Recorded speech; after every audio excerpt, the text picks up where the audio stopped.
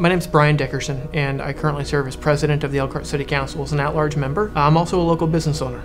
I'm running because we need good representation in Elkhart. We need an advocate for people. Know, the last eight years I've gotten to know Brian. I was both a friend as a, another politician.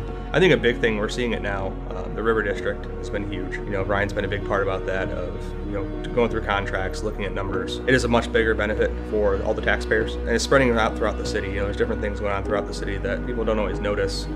Brian's a good listener. That was what I realized first about him when I met him, is he has this ability to listen in a way that makes you feel like somebody respects you. Brian is also a, um, a studier, and so if he doesn't have the answer, since he's an at-large candidate, he's going to get the answer that you need, regardless of the district you live in. Brian has always been very supportive of not just the firefighters and public safety as a whole, but supportive of the city of Elkhart as a whole.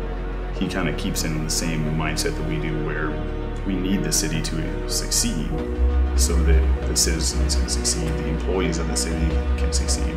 Brian is really strong advocate for all citizens of Elkhart, regardless of what your concern is or who you are or what your opinions are. He's going to listen to you and he's going to do whatever he can to help you.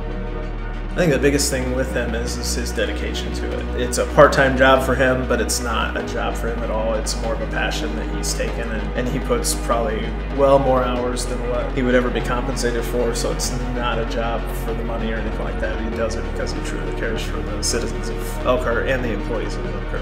I would say the most important thing that members of this council can do, uh, whether it be today or 10 years from now, is be a voice for people.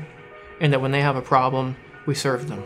I want to make sure that when folks come to Elkhart, whether they're new or if you've been here for a lifetime, that you can see a difference in our community year after year and that we're making things better and that we're taking tax dollars that the people have entrusted us with and putting them to good work. I'm Brian Dickerson. I've had the privilege to serve you over the last seven years on the Common Council.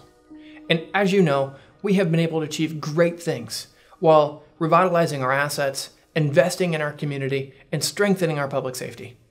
I have a love for Elkhart, as I know you do. And I'm asking for your support on November the 5th in voting for me so that we can continue some of the amazing progress that we've had in Elkhart.